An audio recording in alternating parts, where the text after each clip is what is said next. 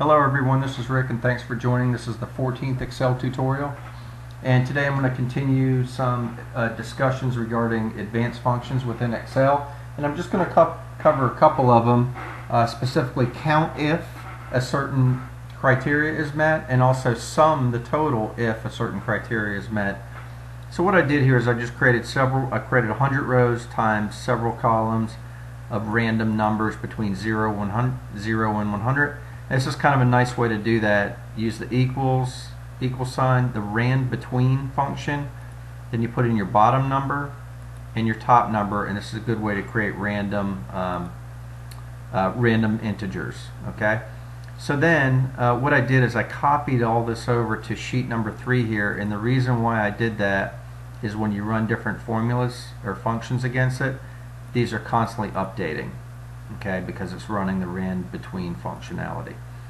So anyway, so what I'm going to do is go down here and I've got all this all this data and I need to know how many times a certain event or criteria is met. So in this case I want to count a number of times something happened.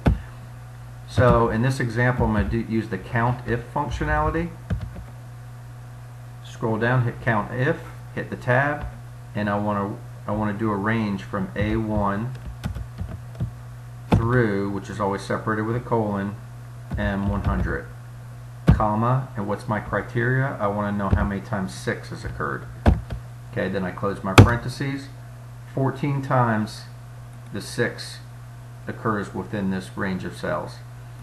So that's great, um, but if I'm tallying up, this is great for summarizing data, putting it in reports and so forth.